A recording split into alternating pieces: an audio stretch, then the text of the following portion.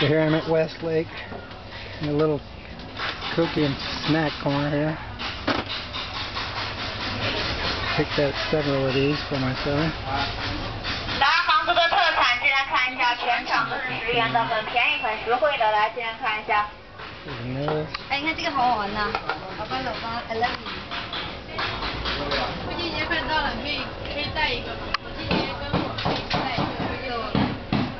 Tasty looking things that I'll be trying. We'll see how much of it is packaging and how much of it is tasty. I have a feeling it's going to be good.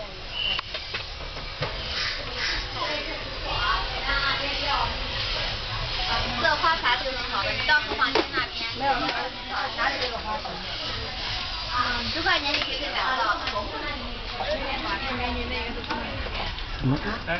real unusual looking candy and, and cakes.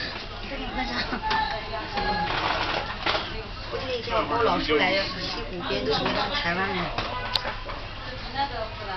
这个也不能打开。那个可以打开。